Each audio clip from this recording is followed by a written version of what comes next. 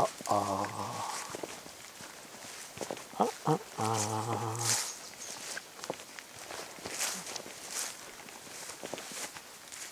Alors là, je t'avoue que... Gauche ou droite?